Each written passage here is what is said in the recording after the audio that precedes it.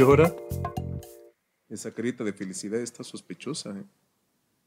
¿Te sacaste la lotería? Pues casi, casi. Por fin ya me van a entregar la casa.